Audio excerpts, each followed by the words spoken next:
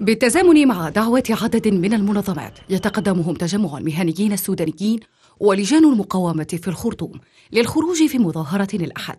عقد مجلس السيادة والدفاع اجتماعين لبحث الأزمة السياسية في البلاد. الاحتجاجات التي تأتي تعبيرا عن رفض الاتفاق السياسي بين عبد الفتاح البرهان وعبد الله حمدوك تطالب بإبعاد العسكريين من المشهد السياسي ونقل السلطة للمدنيين. حمدوك أرجأ مجلس السيادة لأجل التوصل إلى حل طارئ للأزمة التي تتخبط فيها البلاد في وقت يتمسك فيه بالاستقالة.